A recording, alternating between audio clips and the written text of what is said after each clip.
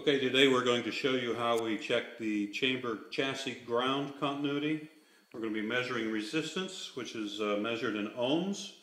We're going to use a, a test lead extension here, simple alligator clip on one end and a male banana plug on the other. And we take this uh, male banana plug, plug it right in where you would normally plug the patient ground cord, ground strap cord.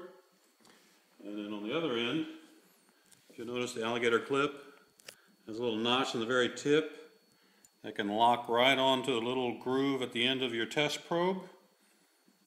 And then you bring this over here. You want to make sure that your test lead extension is long enough so you get over to your facility ground. Down here, take your other test lead, put it up to your facility ground and take your reading and we get 0.2 ohms. It's about, uh, well, it's bouncing between 0.2 and 0.4, it looks like. And the maximum allowed by NFPA is 1 ohm, and we are well below that threshold.